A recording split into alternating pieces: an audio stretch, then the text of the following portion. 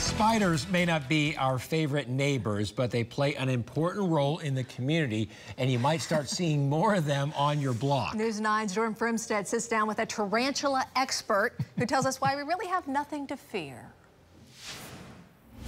There are 8 billion people on Earth. Well, there's 20 million different species of bugs. But we're a bit outnumbered. For every single person on Earth, there are at least a trillion individual bugs. I'm Andrina Shufran, and I am the director of the OSU Insect Adventure in Stillwater. Oklahoma State's Dr. Shufran I learn something new every day. wants you to learn something We call it the Oklahoma Brown. about these guys. Hi there. Spiders that can grow to an impressive size. With their legs out.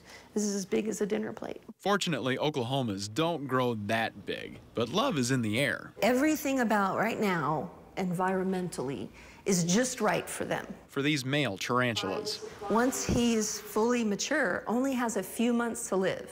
not a lot of time to swipe right or left, and he doesn't only risk rejection. She does have the potential to eat him. Mating season means we will see them out, making their move. You're very fast. Shufran says, fear not.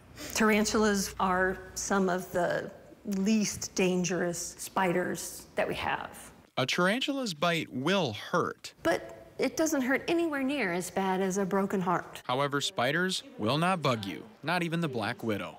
A spider's not deadly. There's never been a death from a spider in the U.S. that's been confirmed ever. A mosquito is worse, They kill up to 2 million people every year. and spiders eat them. Those are our friends. So while some of you would rather burn your house down than share it with a spider, And they're also beautiful and elegant.